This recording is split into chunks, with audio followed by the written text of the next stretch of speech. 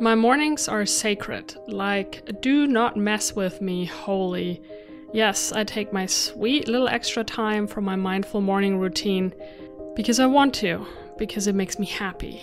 I know, absolutely shameless. It's the foundation so I can create my best work and give my best self to others. Hashtag self care, hashtag productivity, hashtag, hashtag, hashtag. So here we are in Mexico City in my Airbnb. I'm in town for a few weeks. I usually wake up around 7 a.m., usually with no alarm.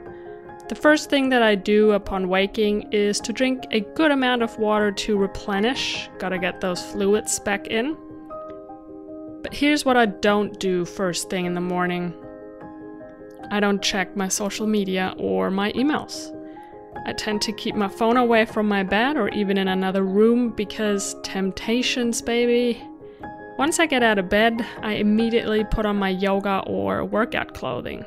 That way, I have no excuse not to exercise and move my body later on. It essentially reduces the friction, the barrier to my daily workout. It's a great little hack, try it out. I practice RPM, which stands for Rise P Meditate, meaning I get up, I go to the bathroom, and before I do anything else, I sit down to meditate for anywhere between 20 and 60 minutes. It's proven to be the best time for me because otherwise I just procrastinate. I alternate between silent meditations with nature sounds or guided meditations. And I like to use an eye mask and headphones as they both help me to go deeper. Afterwards, I make the bed. I can't stand a messy bed, guys. I need an organized environment to have an organized mind. And that's already two accomplishments I can tick off for today meditation and making my bed. Next up is brushing my teeth. For that, I like to use a bamboo or natural toothbrush. This one I was able to find in an organic shop here in Mexico City. It's not fancy, but does the job as I forgot my other awesome toothbrush in LA.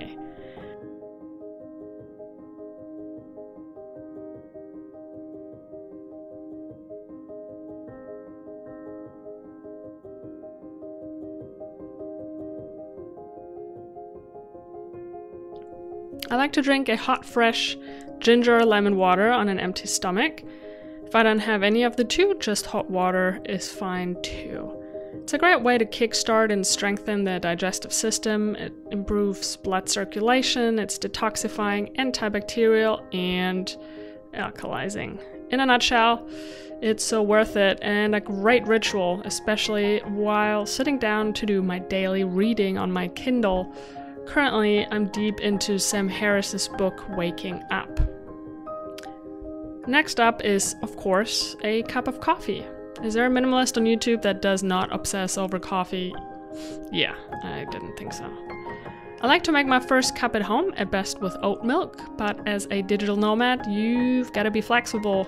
And I don't have a coffee maker at this Airbnb apartment right now, so instead, I like to go out to this great coffee shop down the street. They also have really good macadamia milk. As I drink my coffee, I like to read some more and pull out my bullet journal to plan my day and tasks and write down some reflections. Bullet journaling has changed my life since I finally got into it a couple of months ago. I never thought I would become a bullet journal, but here we are. My approach is very minimalist, but damn effective. I feel so much more organized and clear in my mind. It's awesome. So yeah, coffee and bullet journaling. I'm such a cliche YouTuber, and you know what? I'm totally cool with that. After my coffee, I'm ready to move my body. I'm a huge believer in the power of daily exercise for focus, inner peace, increased energy, and of course, health. My go to is yoga. I've been a yogi for many years now. But I'm also really into hiking and surfing depending on where I am in the world. And I love going to yoga studios to get my sweat on in a nice vinyasa or hatha class for 60 or 90 minutes if the time allows. Afterwards, I take a shower, first hot, then cold, because yes, cold is awesome. I've been doing it for a year now and I love the kick it gives me. I try to only use natural products on my body, at best vegan. I don't mess around much with choosing which clothes to wear. My selection as a minimalist is pretty small, which I like. So there's no overwhelm or wasted time in the clothing department. I finish up in the bathroom, blow dry, and style my hair. And that's a big important part of my morning because, well, it's hair. Here's another thing I don't do I don't eat breakfast since I practice intermittent fasting for around 16 hours every day until lunchtime at about 12 or 1 p.m. It's time to check my phone for the first time. Have a quick look at Instagram, YouTube, and my email. I sometimes check my WhatsApp earlier when I'm away traveling and I want to say good morning to my partner who's in LA or check in with my family due to time differences. I don't like to get sucked in too much because I want to use my good morning energy to create and get meaningful work done rather than consuming. And I don't schedule calls or meetings until later in the afternoon if possible, unless I really have to, because, well, mornings are holy.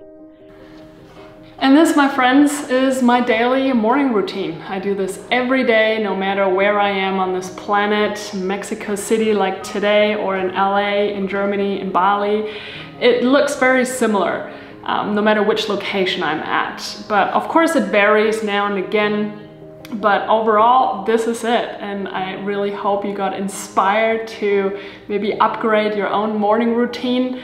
Um, it really sets me up for an awesome day. It really changed my life and I've been doing this for, huh, what, seven years or so is when I started to properly take uh, my morning routine seriously and I just couldn't imagine it any other way. I need this time to charge up my batteries after I get up so I then have all that energy to create videos, to sit at my laptop and edit, to give to other people, my partner, my family, my friends, and yeah. I hope you enjoyed this video. If you like, subscribe to my channel if you haven't done that yet. If you want to learn more about intentional life design as a creator or creative. You can also follow me on Instagram and sign up for my weekly super special magic emails that I send out.